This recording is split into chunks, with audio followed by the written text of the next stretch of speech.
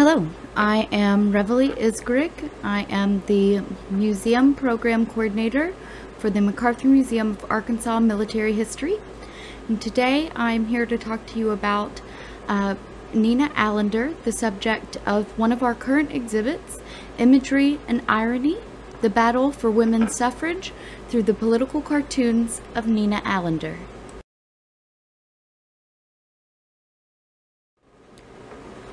Nina Allender was born Nina Evans in 1872 in Kansas. Her parents were both involved in education. Her father was a school superintendent, and her mother was a teacher. Her parents took government jobs and moved to Washington, D.C., where Nina lived most of her life. She married Charles Allender in 1893.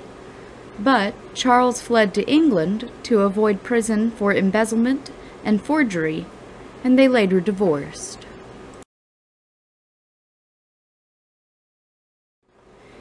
Nina attended the Corcoran School of Art and later the Pennsylvania Academy of Art.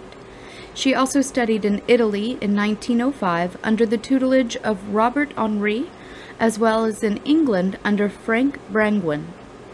Her artistic mentors were Henri and William Merritt Chase. Her artistic career truly took off after meeting suffragist Alice Paul.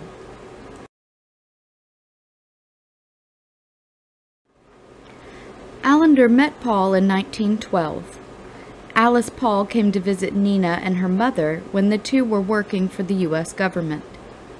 Alice was calling on them to donate time and money to the suffrage movement. Alice Paul was not an easy woman to turn down, so Nina began a long association both with Paul and the women's suffrage movement. It was Alice Paul who convinced Nina to submit her political cartoons to the National Woman's Party magazine, The Suffragist. Although Allender saw herself more as a painter than a cartoonist, she became the main cartoonist for The Suffragist, the National Woman's Party's sole periodical. Later, the periodical became the Equal Rights magazine, for which Allender also produced cartoons.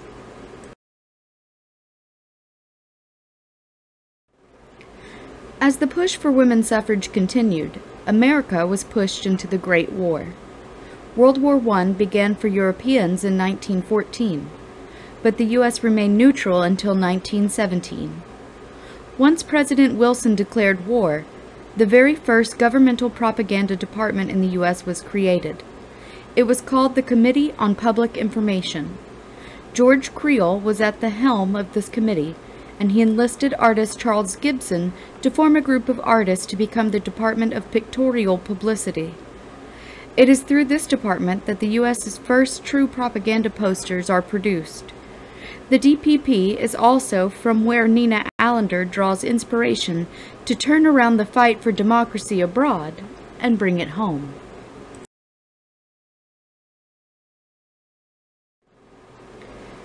The image of Uncle Sam is now so ubiquitous to American patriotic imagery that it is used in commercials, business logos, and humorous parodies.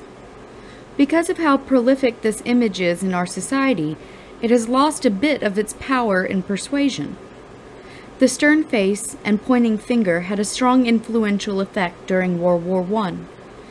It placed its message directly in the viewers' faces, so that there could be no mistaking who the army was after. You. Allender was no doubt aware of the efficacy of this image, and used it to her advantage.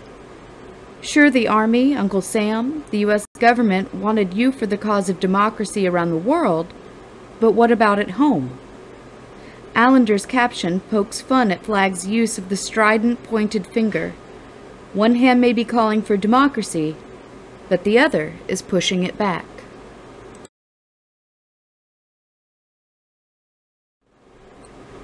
These two images play with another prolific patriotic image, the Statue of Liberty.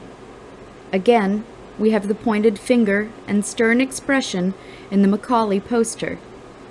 The war poster threatens the end of liberty, the end of freedom if the war effort is not supported. Allender's cartoon takes the same symbol and lightly, rationally, points out the hypocrisy in its use. The enemy may be fighting against freedom abroad, but the U.S. government is not understanding that liberty and freedom are not available to all Americans.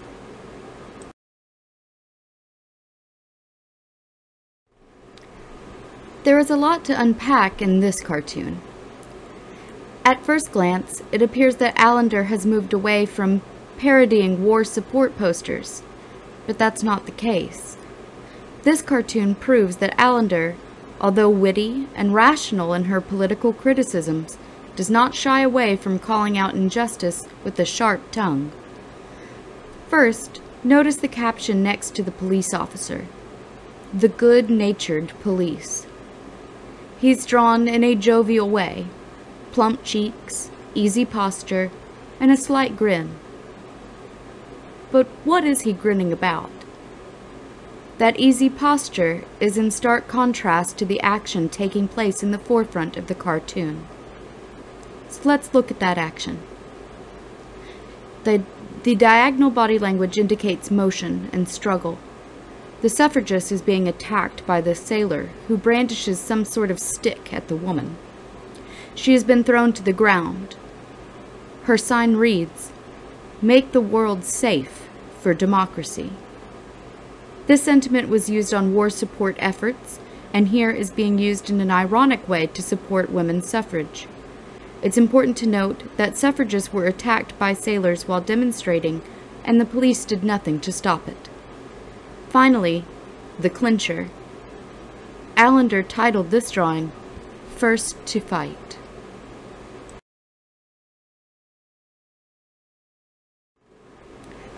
As seen here, First to Fight was a frequently used slogan for the U.S. Marine Corps. By titling her work with the same slogan, Allender brings to light a discrepancy in values.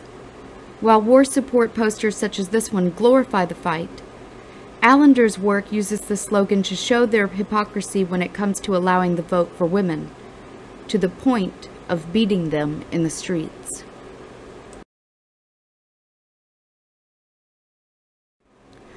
What's more, suffragists were jailed for their actions. Many endured physical abuse while incarcerated, and some were force-fed when they attempted a hunger strike. Which makes the good-natured police comment even more tongue-in-cheek.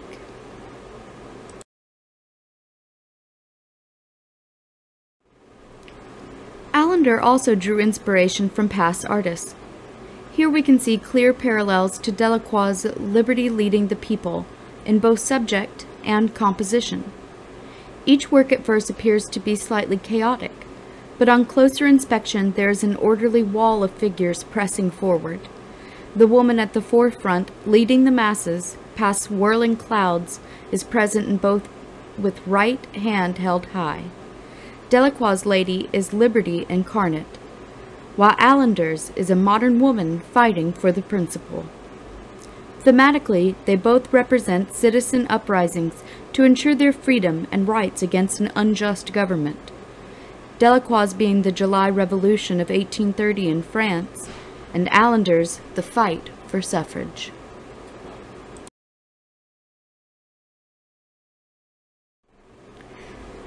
Allender draws parallels to revolution again in this drawing from 1915. Here she has done so quite deliberately and heavy-handedly so as not to be misunderstood. Here she replaces the original three musicians from Yankee Doodle with modern-day suffragists. Drawing a parallel to the U.S.'s Revolutionary War against Great Britain, thus breaking away from the monarchy to form a democratic society in which the people rule, Allender shows that the suffragists are also revolutionaries, breaking from the rule of men only, and illustrates how their movement is in line with the founding American beliefs and values.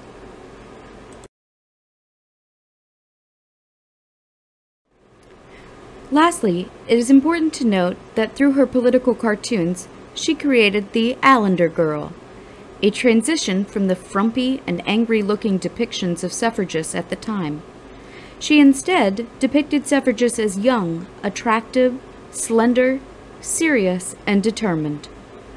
Also a deviation from the very popular Gibson girl Christy Girl and Brinkley Girl. The Christy Girl especially became synonymous with patriotic women.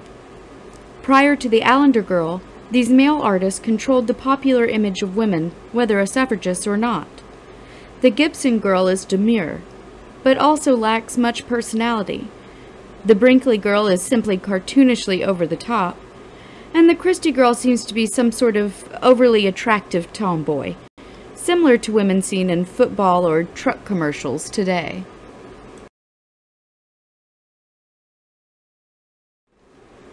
Do these remind you of anything? In contrast, the Allender girl is represented in a much more realistic manner. She is not overly done up like the Christy or Brinkley girl, nor is she stuffy and mute like the Gibson girl. The Allender girl reflects the modern woman, educated, intellectual, driven, and most importantly, civically involved. Nina Allender used the symbolism, words, and drew inspiration from the same sources as those men who created support posters for World War I. The mission of the Department of Pictorial Publicity was overwhelmingly successful.